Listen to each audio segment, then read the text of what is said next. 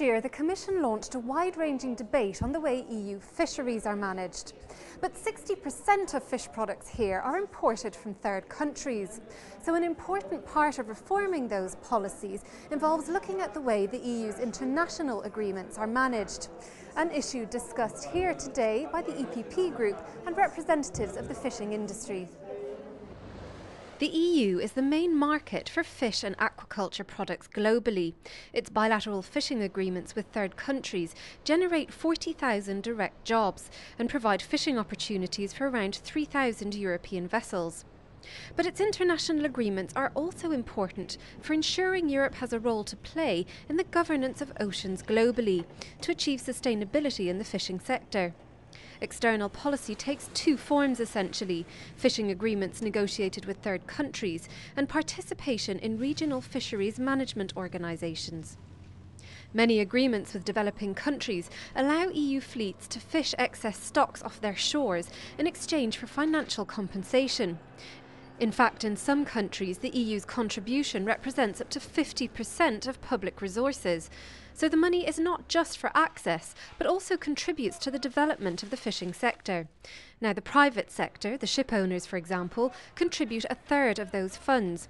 And they don't mind making that investment. What they did make clear at the hearing, though, is their unhappiness at their lack of involvement in discussing how that money will be used. Jose Fontan Dominguez is president of the cluster of fishing organisations in third countries. He wants the EU to build in certain guarantees to the fishing agreements they negotiate, especially as many developing countries are still evolving democracies. Ce qu'on veut, ce qu'on essaye de faire what we want, what we are trying to achieve as far as the Commission and the EU are concerned, is to guarantee that the money gets to the local fishing sector, for improving, for developing the local fishing industry. It's not for buying new cars for ministers, you know. We want the money to get to fishermen, to fishermen in the country with which we have entered into a cooperation agreement.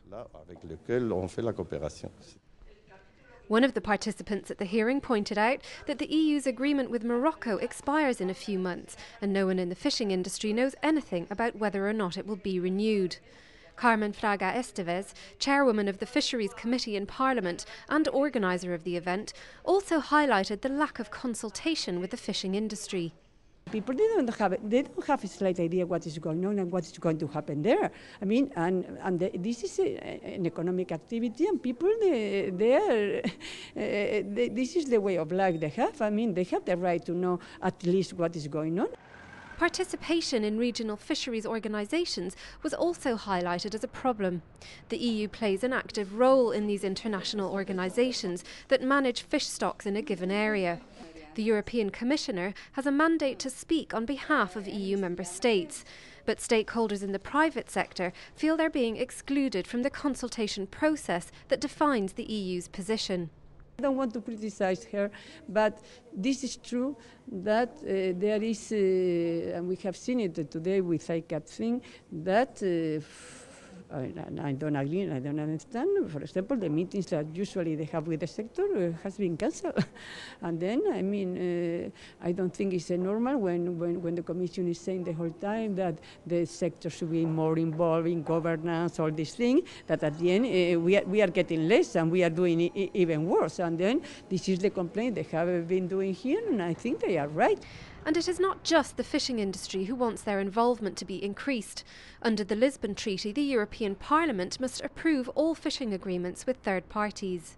I think uh, we need to work together much better. I think uh, now with the Lisbon Treaty uh, that the Parliament has a, a, a, a, new role, we need to, to improve the way of working. I think we need to do it in a more transparent way. I need to, to really to, to, to, uh, to put all the people, all the sector and all the ONGs, or everybody affected by that involved in a discussion and have a, real discussion. We have been asking to be observers in joint committees in, in, in the partnership agreement we have been asking to be observers in, in, in regional fisheries organization, but in, in all meetings, and they are, they are trying to, to put us away.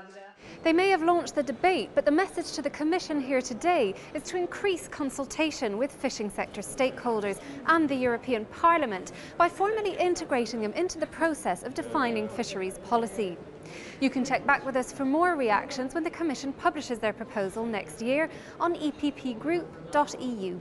Thanks for watching.